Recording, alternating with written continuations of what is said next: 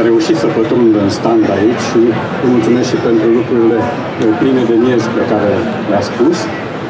Și vă rog acum pe domnul Gabriel Ilicean să vă spună și ce cred.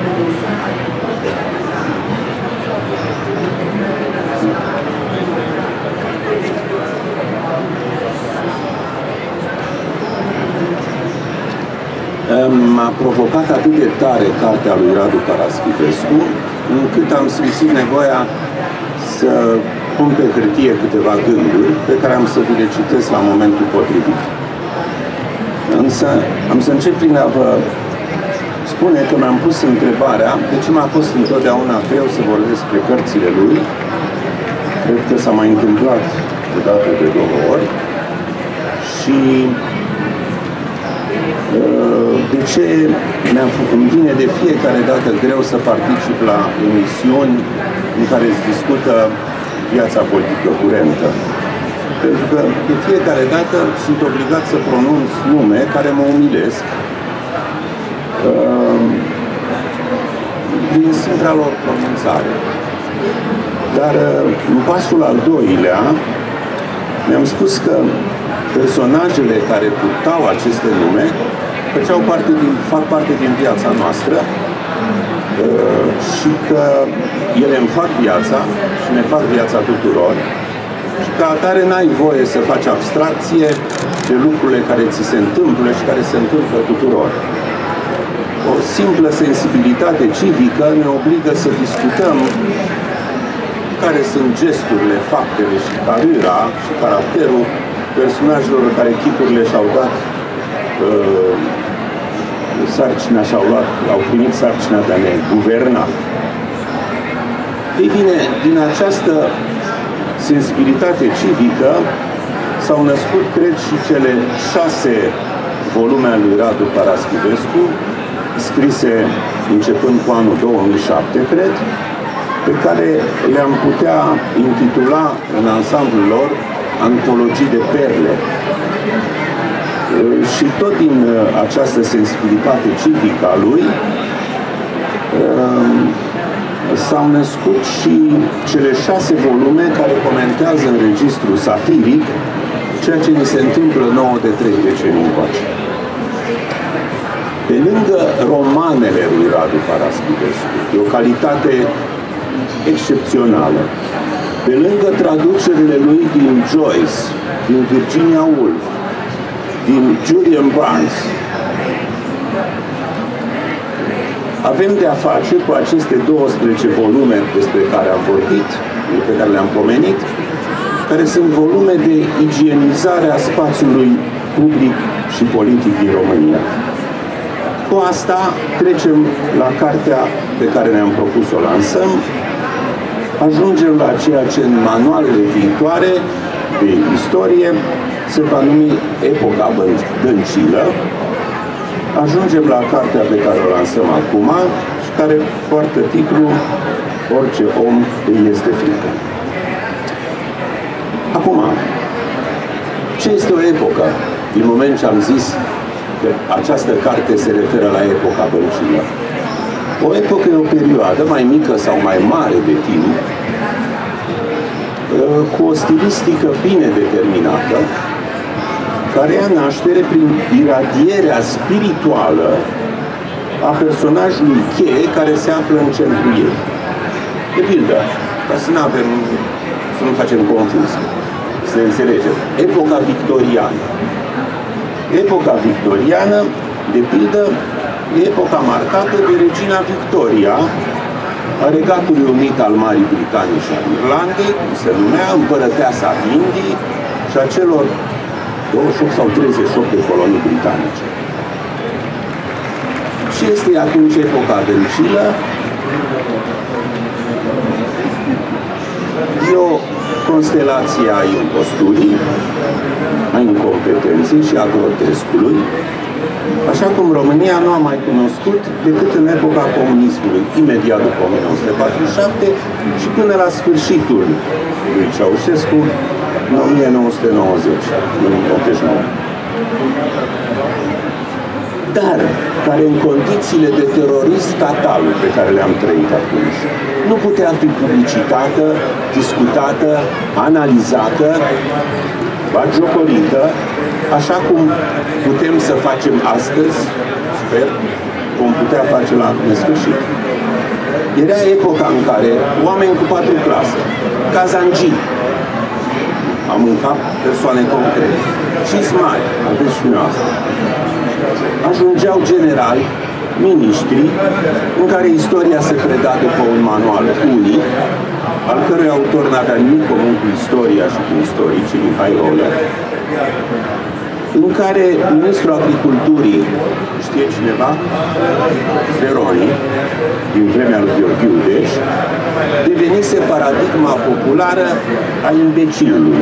Se spunea că are trei mânuși tot timpul și că una dintre ele o ține mereu în mâna stângă. Știați asta? Da. Uh, în care o femeie cu trei clase ajungea academician și director în chimie, era poreclită, după cum poate știți majoritatea, CO2, pentru că spunea formule dioxidului de carbon CO2, CO2. Iar soțul ei cu patru clase era președinte al țării despre epoca dăncilă și constelația de parlamentari, miniștri și politicieni de azi, e vorba în cartea lui Radu Paraschivescu, orice om este frică. Ea este, de fapt, epoca pe care o descrie această carte, e o epocă tragică, dragii mei, e tragică tocmai pentru că repetă în parametrii deriziunii o perioadă a istoriei noastre de care noi am crezut că am scăpat definitiv. Ori acest returnământ, această revenire pe planul istoriei de azi, a ceea ce am trăit 40 de ani, 5 înainte, e tragică. Pentru că este clar o bătaie a pasului pe loc. Și acum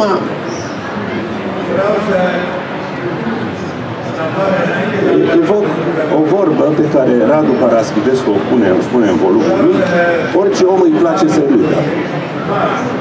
Uh, parafrazând titlul și faimoasa vorbă tămșiliană, orice om este teamă. Dar râsul acesta e doar suprafața cărții lui Radu Parasculescu. A spus-o și Ion Stanomir înaintea mea. Toate cele 12 volume de care v-am vorbit, la oaltă, vor da generațiilor viitoare o imagine a grotescului tranziției, o ilustrare și o documentare a lui. Deci nu e o carte pe care uh, să o tratăm ca pe o carte ușoară, scrisă de un om cu har satiric. Nu, e un document de epocă și toate aceste cărți, împreună cu asta, cele 12 amintite, vor fi viitoarele manuale satirice de istorie. Voi încerca așadar, în cele ce vă spun în continuare între 10 minute, ca făcând slalom printre enormele comicării ale cărții, să vorbesc despre seriosul volumului pe care îl lansăm acum. Și voi începe și voi selecta patru citate pe care le dă Radu Paraschivescu din Constelația Epocii Dăncilă, începând cu Viorica Dăncilă însăși și felul în care le comentează Radu Paraschivescu. Și în felul ăsta, cred că o să avem o imagine cât se poate de limpede a ce a care, a, a, a, miz, care e miza ei? Viorica Dăncilă. Ieri un ministru din guvernul meu, un coleg pe care îl cunosc de ani de zi, a fost făcut prost de către un grup de tineri le transmit că acest coleg al nostru nu e singur, suntem cu toții alături de el. Și acum comentariul lui Radu Parascutescu. Interesant e că solidarizarea neghiobie a premierului trezește o amintire. În anii 1979-1980, unitatea militară 01352 din Constanța e populată de câțiva semifondiști ai umorului involuntar. Și cum peștele cazon de la Chipiu se împute, principala sursă de năspâtii e însuși comandantul unității, locotenent colonel cu facies de batracian congestionat. Ofițerul strânge la un moment dat unitatea pe platou pentru frecarea câtorva ridichi de la compania TR. conștient de inferioritatea numerică în care se află, locotenent colonelul sfârșește prin a se declara excedat. Voi sunteți 54 de boi și eu sunt unul singur. Ceva din exasperarea comandantului din Constanța transpare peste decenii în declarația de solidarizare a Vioricăi Dăncilă cu colegul din partid pe care un grup de tineri l-a făcut prost. Radu, cred că ai ratat o mini-nuanță hermeneutică. Dăm voie să o adaug. Pe mine m-a frapat din citatul pe care vi l-am dat din uh, Viorica Dăncilă. Ieri un din meu un coleg pe care îl cunosc de ani de zile. Uh, vă dați seama cum și-a spus asta? E o garanție că eu cunoscându-l de ani de zile, el nu e prost. Asta ți-a scăpat. Urmează un citat din Florin Iordache. Vă asigur că există o largă majoritate care înțelege textele de lege fără să le citească. Comentariul lui Radu Paraschivescu. Doar un naiv, de data asta comentariul este grav, doar un naiv ar putea crede că noua croială a codului penal și a codului de procedură penală e opera lui Florin Iordache și Eugen Nicolicea. Nici vorbă. Autorii reali nu sunt parlamentari și știu meserie, iar asta îi face cu atât mai vinovați. E vorba de avocații la EUSE. Când România va încasa penalizări uriașe de la organismele europene sau va fi propusă pentru excludere, ei sunt primii care vor trebui întrebați de sănătate, fiindcă sunt pe deplin conștienți de răul pe care îl provoacă astăzi țării prin binele pe care îl fac dorba sute de nemernici. Al treilea citat pe care l-am ales. Robert Negoiță, primarul sectorului 3, este vestit, după cum știți, prin această vorbă, sectorul 3 e cel mai mare oraș din România, după București. Dar el e vestit și pentru vorba pe care o alege Radu Paraschivescu în carte. E greu să zbori prin parcuri oricât ai iubi natura. Comentariul lui Radu Paraschivescu. Dacă nu ești avion, elicopter sau pasăre, e greu să zbori în general, nu doar prin parcuri. Trebuie văzut totuși cu ce prilej de glas Robert Negoiță acestui gând într-un interviu apărut în Cața Vencii. Edilul are de a face cu protestele locuitorilor din sectorul 3 al capitalei, fiindcă locuitorii ăștia monștri de ingratitudine până la 1 uită cât bine li se face fără măcar să îi ceară și croșetează petiții peste petiții. De ce? Vezi, Doamne, fiindcă iarba verde din sector ar pierde teren în lupta cu bordura și paveaua. Dacă stai să-l asculți pe Robert Negoiță, ești dator măcar cu o ridicare din sprâncene, dacă nu cu mai mult. Asta din cauza că primarul dă vina, dă vina pe cei care dau vina pe el. Oamenii cer asfalt, declară Negoiță, și mintea zboară la coștul. Păcat că nu mai trăiește, îți spui imediat. Ar fi scris un noi vrem asfalt de toată frumusețea. Ceva de genul. Să nu dea Dumnezeu înalt, să vrem noi sânge, nu asfalt. Când nu vom mai putea răbda, asfaltul când ne va neca, Hristos să fii, nu vei scăpa decât prin salt. De pe cea mai înaltă clădire din sector se înțelege. Și în sfârșit, vor fi Ioan Botei, Petre Daia. Eu, când cad din pom, întâi mă uit dacă am coaste rupte. Pe urmă mă scutur și abia pe urmă încep să zbier. Nu zbier înainte. Comentariul lui Radu Paraschivescu. Precizarea importantă, mai cu seamă, într-un spațiu plin de ciudați care umblă liber și care inversează ordinea operațiunilor. Întâi se pun pe zbierat, pe urmă se scutură, apoi își numără coastele și abia la final își dau drumul din pom. Sigur, la contactul cu solul e bine să zbiere de durere, dar nu mai au cum. Au făcut-o deja și au consumat creditul. Cine consideră declarația de mai sus o pură inepție, continuă Radu Paraschivescu, nu e la curent cu concepția lui Petre Daia. Despre timp, hrănită, firește, cu lecturi de profil din Einstein și Stephen Hawking.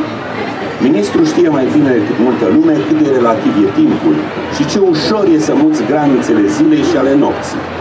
E de notorietate vizita făcută în martie 2017 la Colibaș, în județul Giurgiu, când ministrul vrea să vadă cum se desfășoară programul de sprijinire al cultivatorilor de tomate.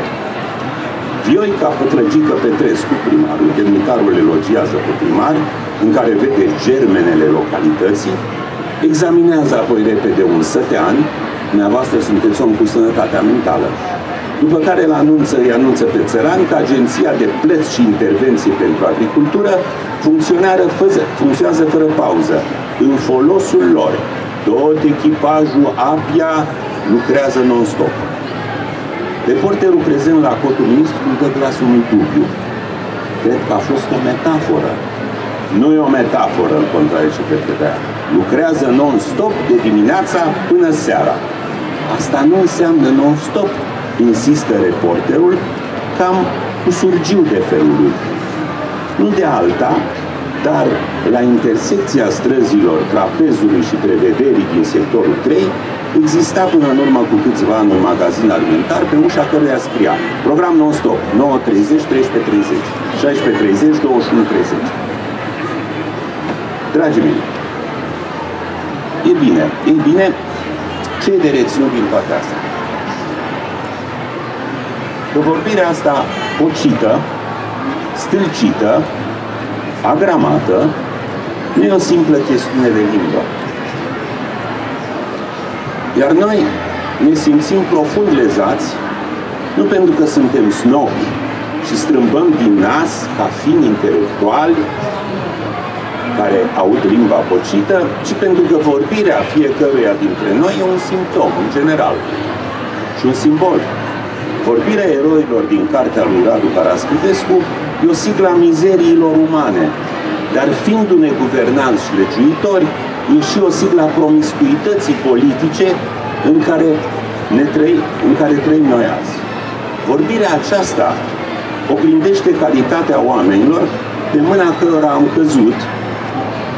Vă rog să fiți atenți și la cartea lui Andrei Pleșu, care din păcate nu e în țară ca să-și facă lansarea cărții, pe mâna cui suntem, așa se numește, mica antologia tragicomedii omenești și care face un splendid tandem cu cartea lui Radu Paraschivescu. O să te rog să spui și tu asta dacă am dreptate. Și tot ea ne spune, partea asta, cât de jos am căzut. M-am întrebat la un moment dat de ce în epoca modernă s-au păstrat monarhiile constituționale, ce drept, dar monarhii. De ce regi? De ce regine? De ce longevitatea de peste un secol a casei Windsor din Marea Britanie?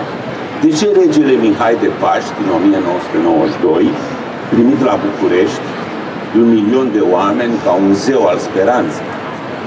Și mi-am adus aminte de un text publicat cu acest prilej, cu vizita lui Mihai, de un autor român, intitulat chiar așa, De ce regi? Iată un fragment pe care l-am găsit acolo. Maestate, spune autorul, înseamnă măreție. În rege, un popor își recunoaște măreția și ultimul om, cel mai umil, privindu-și regele, se transfigurează și își primește, de, și își primește de la el chipul lui de sărbătoare. Oamenii au nevoie de regi pentru ca să se recunoască în altceva, mai mult decât ei. Ei au nevoie să comunice și cu altceva decât cu lucrurile din jur, de pe pământ. Regele ca simbol e posibilitatea acestei comunicări. Monarhul nu e un stăpân, nu e nici măcar conducător. El e doar garanția înălțării noastre și a legăturii noastre de oameni cu ceva care e mai presus decât noi, mai nobil, mai înalt decât noi. Regele e capul întors către cer al unui popor întreg, ființa noastră adunată la oaltă într-un punct înalt. Când unui popor îi se ia suveranul, nu îi se ia capul întors către cer. El e decapitat. Poporul român a fost decapitat astfel la 30 decembrie 1947. Ei bine, noi avem nevoie de dăncilă și de guvernul ei, de șeful ei de partid și de partidul ei ca să ne măsurăm căderea. ca să vedem cât de jos am ajuns. Ăsta e sensul adânc, cel care trece dincolo de râs și aparență al cărții lui Radu Caraschivescu. El ne înfățișează ființa noastră adunată la oaltă în punctul cel mai de jos, ca să știm, plin de rușine și de indignare, de unde să ne ridicăm. Cred că volumul acesta al lui Radu Paraschivescu îl califică pe autor drept cel mai mare hermeneut al imbecilității și imposturii din România. Vorbim tehnic, nu. Sarcină extrem de dificilă prin, prin, prin vastitatea ei. Uh, e cazul, cred eu, să-i mulțumim pentru această muncă titanică. E al 13-lea volum pe tema asta, în fel. Și pentru sensibilitatea lui civică, care îl face să râdă cu lacrimi în ochi.